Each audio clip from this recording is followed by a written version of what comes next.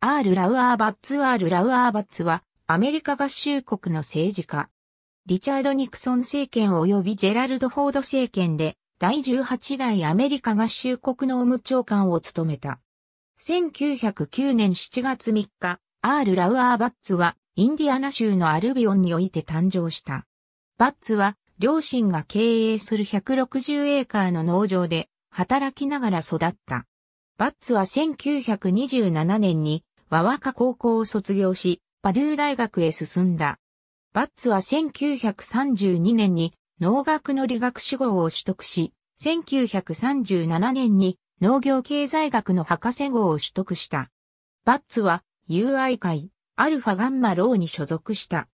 1948年、バッツはアメリカ農業経済学協会の副会長に就任した。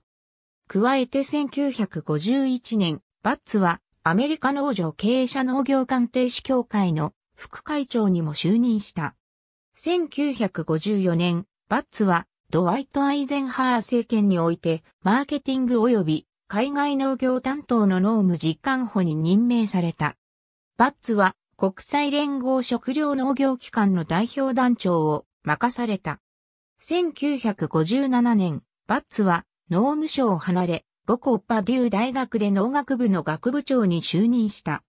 1968年、バッツは社会人教育学部の学部長及びパデュー研究財団の副会長に就任した。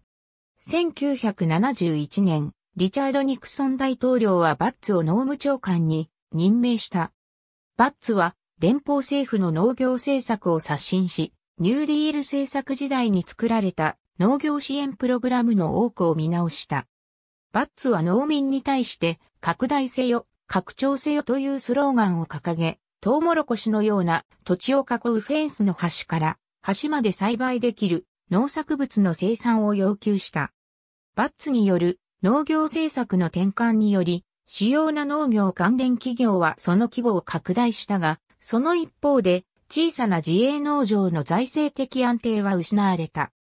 バッツが農務長官に着任した当時、食料価格は先例のない高騰を見せており、政治的にも熱い問題となっていた。バッツはこの状況を的確に対処し、同様の事態が今後起こらないようなシステムを構築した。その結果アメリカの食料価格は徐々に落ち着きを見せ、1972年には凶作に陥ったソビエトがアメリカから約3000万トンの穀物を買い付けられるまでに安定した。1974年にニクソン大統領がウォーターゲート事件で辞任した後も、バッツはジェラルド・フォード政権で引き続き農務長官を務めた。1974年、世界食糧会議がイタリアのローマで開催された際、バッツは人口抑制に対する教皇パウロ6世の反対意見について冗談を言って返した。バッツはイタリア風のアクセントで、教皇、何も、仕事してない。教皇、何も、指導してない。と発言し、パウロ6世を物笑いの種にした。バッツのこの発言について、ニューヨーク大教区のテレンス・クック枢機卿は、スポークスマンを通じて、謝罪を要求した。これを受けて、連邦政府は、直ちに謝罪するようバッツに要請した。バッツは、いかなる宗教団体、民族集団、宗教指導者についても、その思想や品位について、貶める意図はなかったとの声明を発表した。1976年、マスメディアはバッツが人種発言的な発言を行ったと報道した。バッツは共和党全国大会の後、カリフォルニア州へ向かう民間航空機の中において歌手、パット・ブーン及び元大統領、法律顧問ジョン・ディーンとの会話の中で黒人を侮蔑する発言をしたと報じられた。バッツは、この報道を受けて、10月4日に農務長官を辞任した。10月18日、タイム誌はこの問題について、柔らかい表現で次のように論評している。ワシントンポスト紙は、バッツの発言に関して、政府関係筋は、政府高官は誰一人として疑念を抱いていないと口を揃えたと報じた。AP 通信はバッツの発言を各報道機関に伝達した。コロンビアジャーナリズムレビュー誌によると、2紙がバッツの発言をありのままに報道した。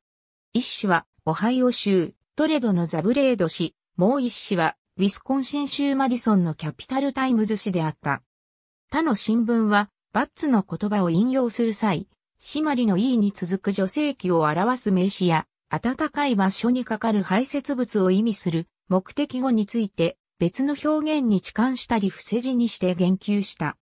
テキサス州ラボックのラボックアバランチジャーナル氏は、新聞社内ではオリジナルの発言が使用可能であると述べたため、200人を超える人が原文を読むために新聞社を訪れた。カリフォルニア州サンディエゴのサンディエゴイブニングトリビューン氏は、要求があれば、誰にでも原文のコピーを郵送すると公表し、3000人を超える読者が郵送を希望した。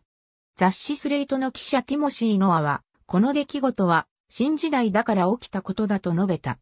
以前ならば、政治家は、このような攻撃的な意見についてプライベートな場所では、安全に発言することができた。